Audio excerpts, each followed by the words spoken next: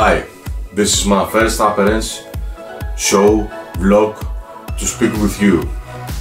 And uh, I'm very ashamed to talk. Sorry for that. I want to thank my daughter Eleni and my son Manolis so the name come out Eleman. Okay? For a long time I want to make something and give it to my friends, to my fans. Okay, this is the time. Also need your support. So I decided to make this device. I call it